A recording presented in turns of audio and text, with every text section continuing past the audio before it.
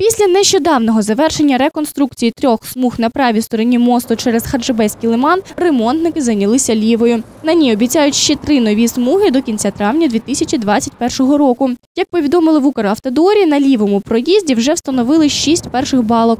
Нагадаємо, реконструкцію правої частини мосту закінчили на місяць раніше, щоб встигнути здати її до Дня державного прапора 23 серпня. Тендер на ремонт споруди за майже 342 мільйони гривень у 2017 році виграла фірма Мастбуд.